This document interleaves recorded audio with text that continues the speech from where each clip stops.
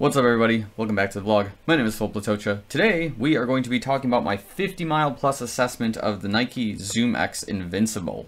Um, why I'm choosing 50 miles right now instead of 100 like I previously stated is I do have some corrections in terms of um, experiences within the shoe that I would like to set straight uh, with the record.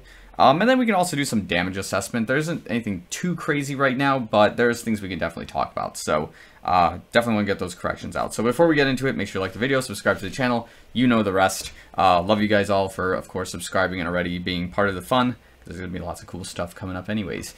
So without further ado, let's get into it. So first things first, uh, let's go over general specifications of the shoe. The shoe itself, uh, depending on your size, can vary anywhere from about 10 to 11 ounces.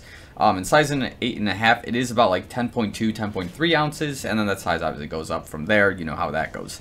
Um, that puts it about 300 to 310 grams on average, which is very similar to the weight of the Nike Infinity React Run Flyknit 2 and the 1. So it seems to be a pretty common trend for Nike to make these heavier end shoes with a little bit more foam, a little bit more material uh, with the intent of making them feel lighter based on the foams and things like that that they've got going on.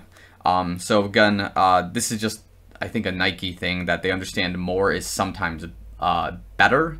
Um, other things to mention, uh, the stack height of this shoe is about 9 millimeters, has the feel about 8 to 10 millimeters, uh, nothing too insane about that. Uh, the forefoot, I believe, is either I think it's 28 millimeters here in the forefoot and then 37 in the heel, giving it that 9 millimeter difference. Um, but it does have the feel of, you know, uh, the Tempo Next percent, as you can probably see here. And uh, yeah, it's a very good feel overall. And it also does simulate um, a bit of the stack height feel of the Pegasus Turbo and the Pegasus Turbo 2.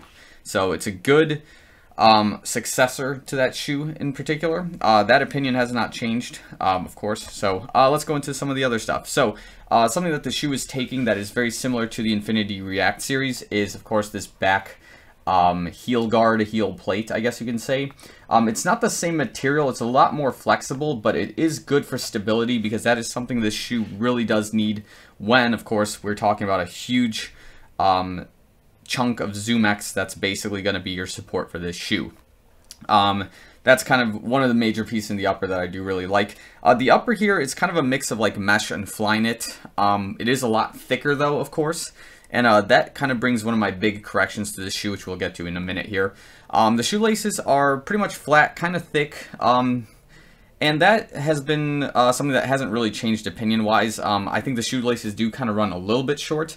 Um, I'd be more keen to having a shoelace that resembles more like the Tempo Next Percent's laces where they're a lot thinner and um, just a little bit longer so you can tuck them in accordingly. Um, it's hard to do double knots in this shoe unless you really lock yourself in. Um, in my case, I don't really need to.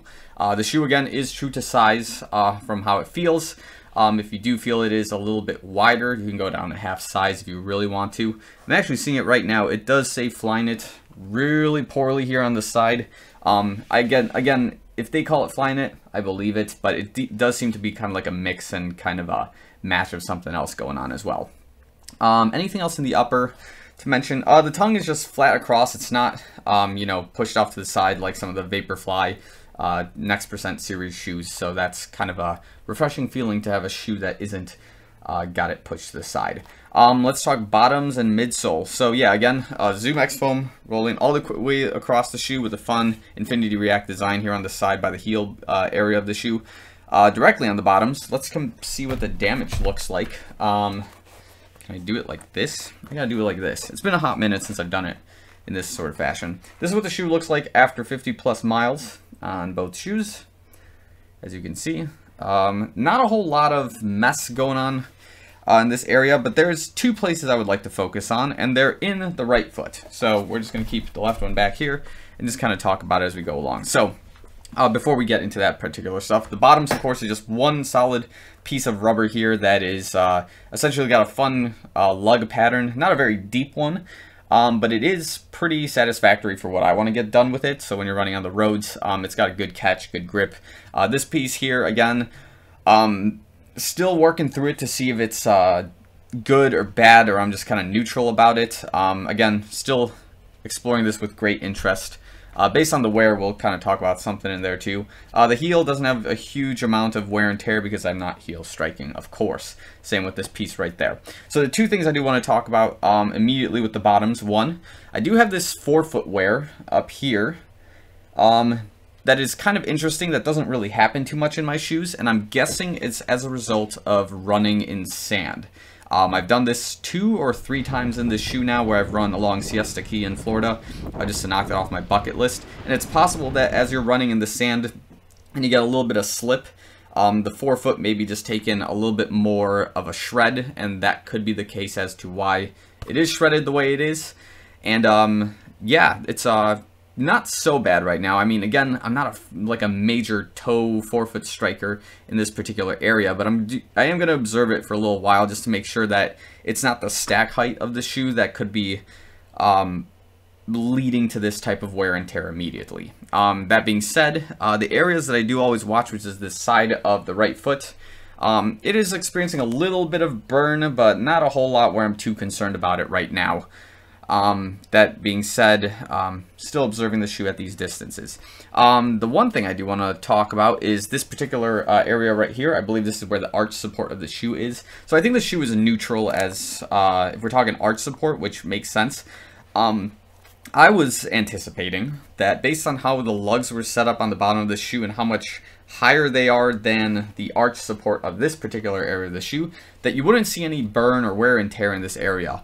Um, that being said, it looks like it is experiencing a little bit of impact, and that may be possibly my running style. There might just be excess dirt here that's um, kind of developing. It seems like there's a little bit of dirt, but it is hitting the ground and you are experiencing impact in this area. So despite how much rubber they've got here and, uh, you know, the arch support you may be expecting, it doesn't surprise me that ZoomX sinks the way it does and gives you a little bit of instability and a little bit of cave-in to the shoe as uh, we see right here.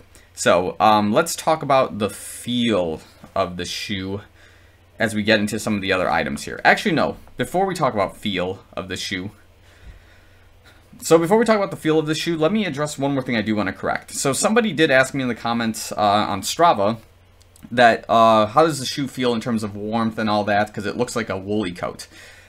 That was something I said I was kind of indifferent to originally, but now as I'm running with it more and I've experienced it more like running on the beach and running on the roads, what happens is the shoe is not very breathable at all. Uh, as a matter of fact, when I was finishing up my run and you know uh, the sweat drips down your legs, down to the socks and into the shoe, it doesn't circulate itself out. You do feel uh, the shoe just absorbing the water, and you do feel that like spongy feeling of like you know water in uh, more or less the toe box area.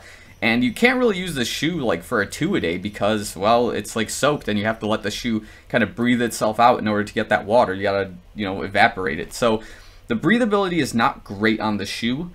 That being said, it could be pretty good on like colder running days, but if you want to take this like on a hot day, um, maybe a different color scheme that isn't gonna make the shoe hot, so like the white and like yellow and blue version of the shoe is probably good. Um, but this one, you probably don't want to do long distances um, during like a hot, humid day because you're just gonna have a really weird time in the toe box and like the sweat going into the shoe and absorbing, you know, all of that in here. So that's one of the big corrections I wanted to issue with the shoe last time, the indifference versus what I'm experiencing with it now.